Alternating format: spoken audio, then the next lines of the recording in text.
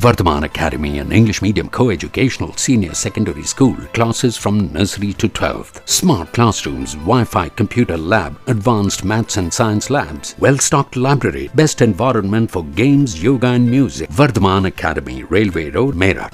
मेरठ के सोतीगंज बाज़ार में कबाड़ियों का चोरी के वाहनों के पार्ट्स बेचने का काला धंधा बंद हो गया है कुछ नई सुबह के इंतज़ार में हैं तो अनेक ने अपना धंधा बदलने का फैसला कर कपड़े व जूते आदि बेचने शुरू कर दिए।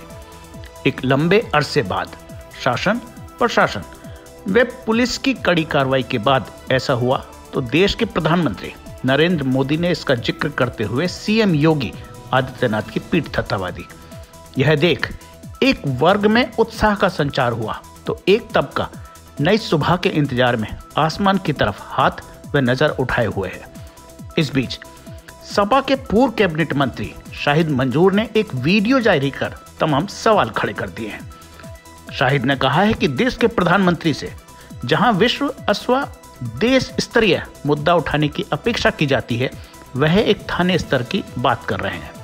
पूर्व कैबिनेट मंत्री ने सवाल किया कि कबाड़ियों के खिलाफ तो कार्रवाई की गई, लेकिन पिछले सात सालों में जिन अफसरों व जनप्रतिनिधियों के संरक्षण में यह धंधा फला फूलता रहा क्या उनके खिलाफ भी कोई कार्रवाई की गई है? आइए देखते हैं क्या कहा है पूर्व कैबिनेट मंत्री व किठौर के पूर्व विधायक शाहिद मंजूर ने। देश में आठ साल से माननीय मोदी जी की सरकार है और प्रदेश में पाँच साल में योगी जी की सरकार है। माननीय प्रधानमंत्री जी के सात साल के बाद और माननीय मुख्यमंत्री जी के पाँच साल के बाद सोचीगंज में तथाकथित गाड़ियों का कटना बंद हुआ, जैसा कि ये दावा कर रहे हैं। और जिस पर आज भारत के प्रधानमंत्री माननीय मोदी जी ने शाहजहांपुर की मीटिंग में उसका ज़िक्र किया।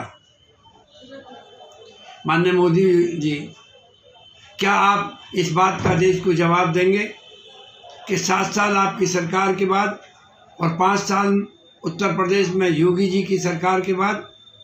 अगर ये क्राइम था तो इस क्राइम पर प्रतिबंध क्यों नहीं लगा? इसके लिए कौन अधिकारी जिम्मेदार हैं? इसके लिए कौन कर्मचारी जिम्मेदार हैं? और भारतीय जनता पार्टी के कौन नेता और किन के संरक्षण में अगर ये धंधा चल रहा था तो वो कौन नेता हैं और वो कौन अधिकारी हैं? क्या उन नेताओं के खिलाफ, उन अधिकारियों के खिलाफ, जो आपके शासनकाल में ये क्राइम कराते रहे, क्या आप उनके खिलाफ एक्शन लेंगे? माननीय प्रधानमंत्री जी, आप दुनिया के सबसे बड़े लोकतंत्र के प्रधानमंत्री हैं। आपसे तो नहीं की जा सकती कि एक थाने के क्राइम पर आप राष्ट्रीय मंच पर बोले। आपके उम्मीद की जाती है आपसे कि आप जब बोलेंगे, अंतर्राष्ट्रीय समस्याओं पर बोलेंगे। आप राष्ट्रीय समस्याओं पर बोलेंगे। आप उत्तर प्रदेश में अगर आज बोल रहे थे तो आपको सरकार को उत्तर प्रदेश की सरकार को ताकीद करनी चाहिए थी कि उत्तर प्रदेश का किसान दुखी है, परेशान है, उसको यूरिया नहीं मिल रहा, उसको खाद नहीं मिल रहा, उसके गन्ने का पेमेंट नहीं हो रहा, उससे मनमाने तरीके से बिजली के दाम वसूले जा रहे हैं। जो सरकारी योजनाओं का पानी किसान को उपलब्ध था, वो पानी मिलना बंद हो गया, वो ट्यूबवेल बंद हो गए।